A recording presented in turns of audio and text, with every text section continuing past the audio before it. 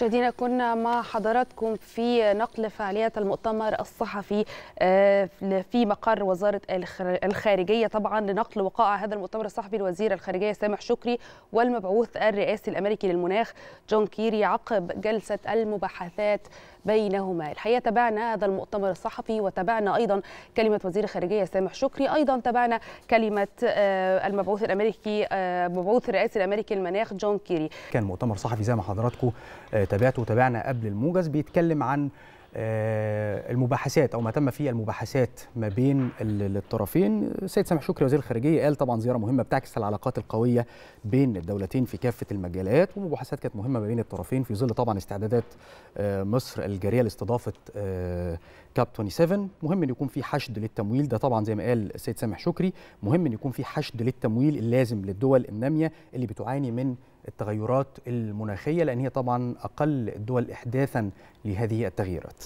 أيضا تحدث الوزير سامح شكري وزير الخارجية تحدث عن حرص مصر على تمكين الشباب وتأهيلهم للتعامل مع هذا الملف وأيضا تحدث إنه تم التباحث حول ملفات الطاقة الجديدة والمتجددة وأيضا الفرص الاستثمارية للشركات الأمريكية في المنطقة الاقتصادية لقناة السويس وأشار للعلاقات الممتدة بين مصر والولايات المتحدة الأمريكية والحقيقة إنه بيشهد أو بتشهد مئويتها العام الحالي. سيد جون كيري قال بحثنا سويا عدد من الموضوعات المتعلقة بقضايا المناخ وهي موضوعات ذات أهمية وتم البحث عن حلول ليها بالإضافة إلى أن مصر بتلعب دور مهم جدا ودور محوري وقيادي في هذا الصدد وأن المباحثات اللي تمت ما بينهم وضعنا فيها نصب أعيننا قضايا المناخ وكل القضايا المتعلقة به.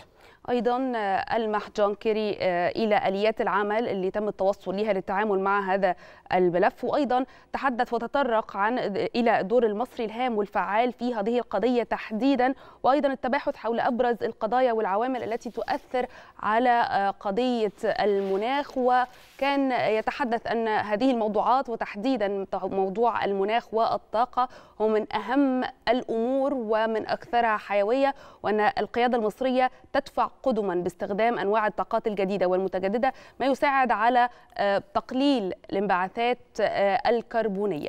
أكد كمان ثقته بالقيادة المصرية بدون شك عشان كده حرصنا على تدشين زي ما قال تدشين مجموعات عمل للتنسيق فيما بيننا في القضايا الخاصة بالمناخ ولأن الأمر متعلق بحياتنا. إزاي نستفيد من الطاقة الجديدة والمتجددة اللي مصر قطعت فيها شوط كبير جدا؟ لأنه على سبيل المثال إزاي نسير سياراتنا؟ أتكلم كمان وقال إن القيادة المصرية بتلعب دور مهم جدا في هذا الملف وقطعت شوط كبير في ده وعندنا خطط مشروعة لابد من تنفيذها.